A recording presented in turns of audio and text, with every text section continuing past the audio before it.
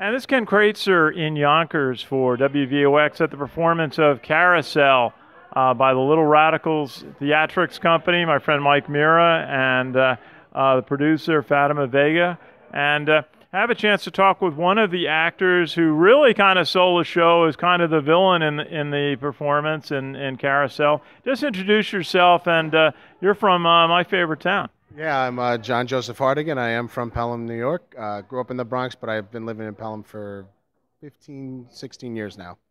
Well, that's great. Now, tell us a little bit about some of the roles that uh, have led up to being in Carousel. Um, well, my most recent credit, uh, previous to Carousel uh, Jigger, was uh, Fester Addams in the Addams Family here with LRT. And the show before that was again with LRT. I played the Lion in The Wiz. Okay, now you had really uh, a very visible kind of uh, key role, the villain in this. Uh, what was it like? It looked like you were having a lot of fun with it. Um, I tend to try and I don't. I try not to leave any meat on the bone, as it were. I try to look for every possibility that I can take with any role that I'm given.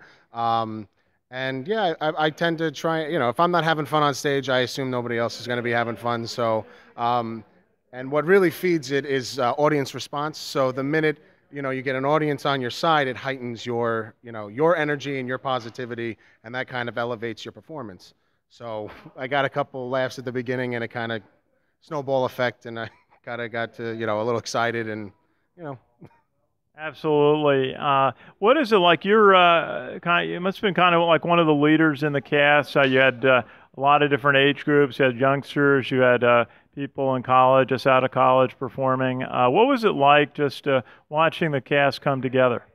Um, I got to say, this is one of the most cohesive casts I've been a part of. Um, there, like no drama, no interpersonal conflicts. Um, we just really gelled really well. I think we had a good sampling of different age groups and enough people were willing to kind of you know breach that age gap or you know where you're from you know some people can be very like well we're from new york or we're from westchester but there was none of that here and it was uh, it just I, there was no work. I had to do no work to get along with anybody in this cast. It was really amazing.